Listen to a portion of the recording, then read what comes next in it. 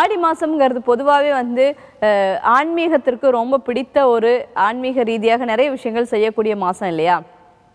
அதே மாதிரி நீங்க சொல்லியிருக்கீங்க ஆடி செவ்வாயில வந்து கிருஷ்ணனை நினைத்து வேண்டினால் உங்களுக்கு வந்து குழந்தை இல்லாதவர்களுக்கு குழந்தை பாக்கியம் கிடைக்கும் அப்படிலாம் சொல்லியிருக்கீங்க.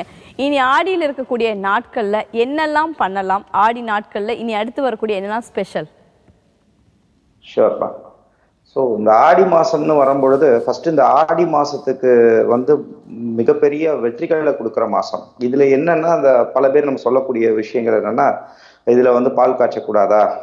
அதே போல நம்ம வந்து இதுக்கு போகக்கூடாதா? புது இது தொழில் தொடங்கக்கூடாதா? அப்படிலாம் ஒன்றும் இல்லைங்க. ஆக்சுவல் ஃபேக்ட் என்னன்னு கேட்டிங்கன்னா அந்த காலங்களில் நம்மளோட தமிழர்கள் பண்பாட்டில் வந்து ஒவ்வொரு மாதத்துக்கு வந்து வழிபாடுகள் செய்ய வேண்டிய மாதம்னு சொல்லி வச்சிருக்காங்க.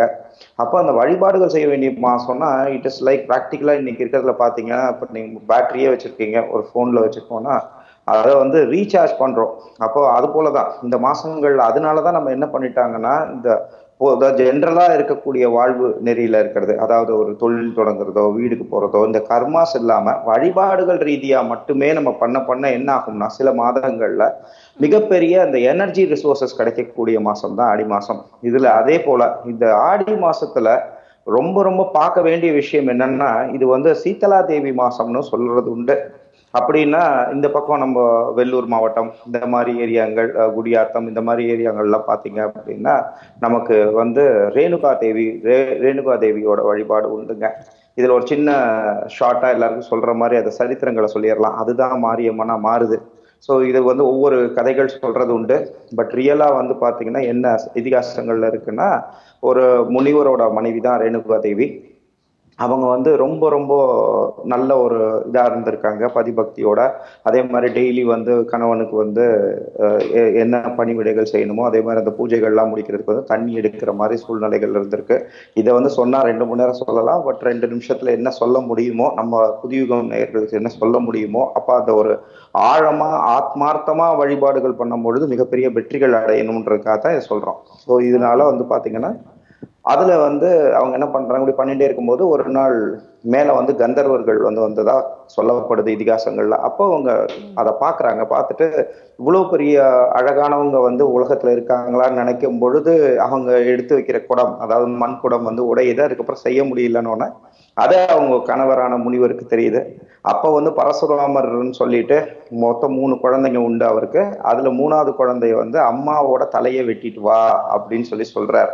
இவ வந்து தப்பான சிந்தனைக்கு போயிட்டா அப்படின்னு சொல்லி சொல்றாங்க. சொன்ன உடனே அவர் வந்து விரட்டி போறார் கோடாலி எடுத்துட்டு. பரசூர் பரசு அப்படிங்கிற ஆயுதத்தை வந்து வரம் வாங்கி பெற்றதுனால தான் அவர் பேர் பரசுராமரன் பேர் வருது.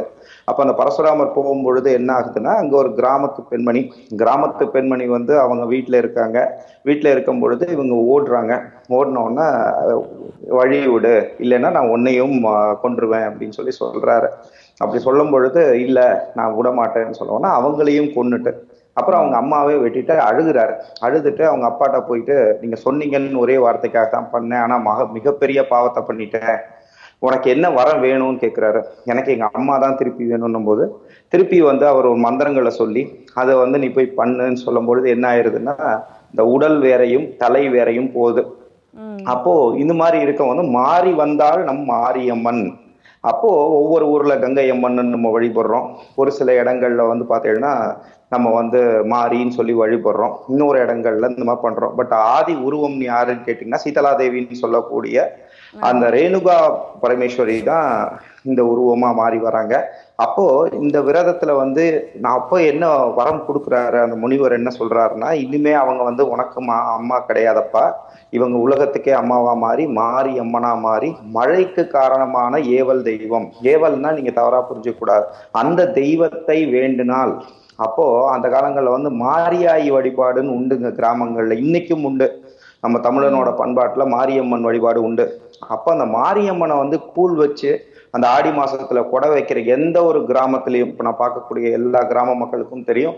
அந்த ஊர்ல வந்து பாத்தீங்கன்னா செழிப்பமா இருக்கும். அதனாலதான் ஆடி பட்டம் வைக்கிறதுக்கு முன்னாடி வந்து பாத்தீங்கன்னா மாரியாய்க்கு கூழ் ஊத்தணும் அப்படின்னு சொல்லியும் நம்ம தமிழர்களோட பண்பாட்டுல உண்டு.